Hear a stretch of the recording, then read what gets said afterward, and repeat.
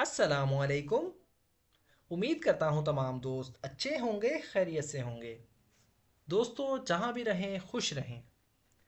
आज का जो हमारा पैराग्राफ है अनएम्प्लॉयमेंट मतलब बेरोज़गारी। दोस्तों अनएम्प्लॉयमेंट किसी भी मुल्क के लिए एक बहुत ही अहम मसला होता है। क्योंकि इससे जो है कंट्री की इकोनॉमी यानी जो मुल्क की मैशियत होती है, वो डाउन हो जाती है। और मुल्क की इकोनॉमी को एज अ कंट्री की बैकबोन समझा जाता है, रीढ़ की हड्डी समझा जाता है।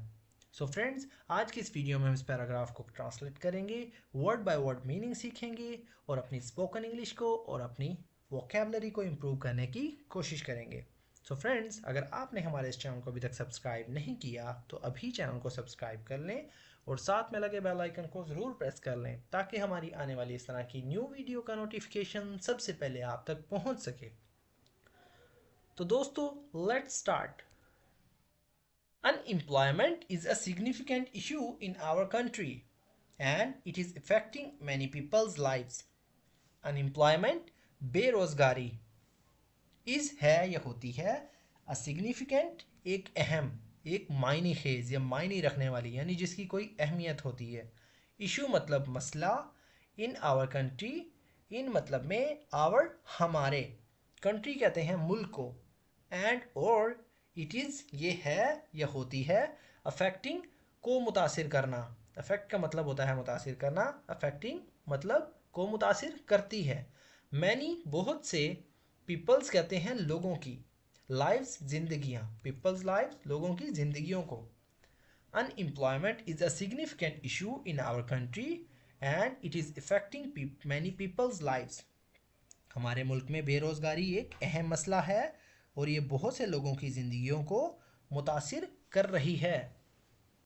I have seen friends and family members struggle to find jobs and it is not just a financial burden, but also an emotional one. I have seen मैंने देख लिया है, या मैं देख चुका हूँ। ये एक प्रेजेंट परफेक्ट टेंस है। मतलब जिसमें हमने काम मुकम्मल कर लिया हो।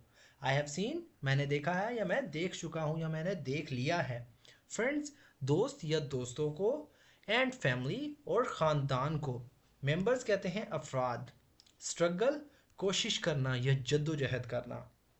टू फाइंड ढूँढने के लिए, या तलाश करने के लिए जॉब्स का मतलब होता है नौकरियाँ। एंड और इट इज़ नॉट ये नहीं है। इट इज़ ये है नॉट जस्ट ना सिर्फ़। नॉट का मतलब ना जस्ट मतलब सिर्फ़।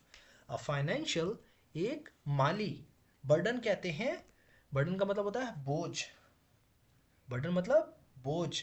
बट बल्कि, या लेकिन आल्सो भी एन इमोशनल एक जज्बाती। इमोशनल कहते हैं जज्बात को। इमोशंस जज्बात इमोशनल एन इमोशनल एक जज्बाती वन मतलब एक I have seen friends and family members struggle to find jobs and it is not just a financial burden but also an emotional one मैंने दोस्तों और ख़ानदान के अफराद को नौकरियाँ या मुलाजमत तलाश करने के लिए जद्दोजहद करते देखा है। और ये सिर्फ़ माली बोझ नहीं है, बल्कि जज्बाती भी है। ये ना सिर्फ़ माली बोझ है, बल्कि एक जज्बाती भी है। Lack of employment opportunities is leading to uh the lack मतलब कमी। ऑफ़ की एम्प्लॉयमेंट का मतलब होता है रोज़गार या मुलाजमत। अपॉर्चुनिटीज़ कहते हैं मौके को या मौाक़े। इज़ लीडिंग टू लीडिंग का मतलब वैसे होता है लीड मतलब रहनुमाई करना। यहाँ हम ले रहे हैं leading to is leading to बढ़ा रही है, रहनुमाई कर रही है। अ सेंस एक एहसास of hopelessness and frustration among young people specially sense मतलब एहसास ऑफ़ होपलेसनेस मतलब नाउमीदी का होपलेसनेस कहते हैं नाउमीदी को एंड और फ्रस्ट्रेशन कहते हैं मायूसी को अमंग दरमियान या बीच में या के दरमियान यंग पीपल नौजवान लोग यंग पीपल नौजवान लोग या लोगों के स्पेशली ख़ास तौर पर The lack of employment opportunities is leading to a sense of hopelessness and frustration among young people especially. रोज़गारी के मौाक़े की कमी बिलखसूस नौजवानों में नाउमीदी और मायूसी के एहसास का बाइस बन रही है रोज़गार के मौाक़ों की कमी खास तौर पर नौजवानों में नाउमीदी और मायूसी के एहसास का बाइस बन रही है। I believe that our government and private sector need to work together to create more job opportunities and provide training programs to help people develop new skills I believe मतलब मेरे ख्याल से यह मुझे लगता है। आई बिलीव मेरे ख्याल से यह मैं यकीन करता हूँ दैट के आवर हमारी गवर्नमेंट कहते हैं हकूमत को। एंड और प्राइवेट होता है एक निजी, एक ज़ाती प्राइवेट सेक्टर एक निजी, एक ज़ाती इदारा या शोबा सेक्टर का मतलब तो होता है शोबा या इदारा। नीड ज़रूरत नीड का मतलब होता है ज़रूरत टू वर्क काम करने के लिए। टुगेदर इकट्ठे या एक साथ टू क्रिएट का मतलब होता है बनाना या पैदा करना, या तख्लीक करना। मोर जॉब्स ज़्यादा नौकरियाँ। मोर मतलब ज़्यादा। जॉब कहते हैं नौकरी को अपॉर्चुनिटीज़ मौके या मौाक़े। एंड प्रोवाइड और मुहैया करना। प्रोवाइड का मतलब होता है मुहैया करना, किसी को देना। ट्रेनिंग तरबीती। ट्रेनिंग का मतलब होता है तरबीती। प्रोग्राम्स प्रोग्राम टू हेल्प मदद करने के लिए पीपल लोग या लोगों की डिवेल्प डिवेल्प का मतलब होता है दोस्तों, तरक्की या तरक्की करना। न्यू स्किल्स नई महारतें। स्किल्स मतलब महारतें। मेरा मानना है या मेरे ख्याल से कि हकूमत और निजी शोबे को रोज़गार के मज़ीद मौके जो हैं, पैदा करने की ज़रूरत है और लोगों को नई महारतें पैदा करने में मदद करने के लिए, तरबीती प्रोग्राम फराहम करने के लिए, मिलकर काम करने की ज़रूरत है।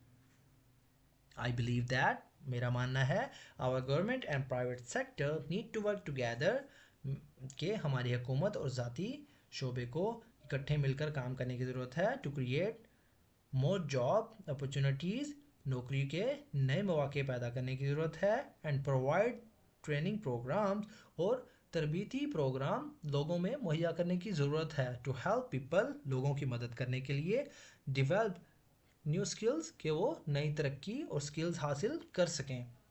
Additionally we need to additionally मतलब इसके अलावा या इजाफी तौर पर वी नीड टू हमें चाहिए कि वी नीड टू हमें चाहिए कि स्पोर्ट मतलब हिमायत या मदद एंटरप्रेन्योर्स मतलब कारोबारी अफराद या आप कह सकते हैं कारोबारी हजरात जो कि कारोबार करते हैं।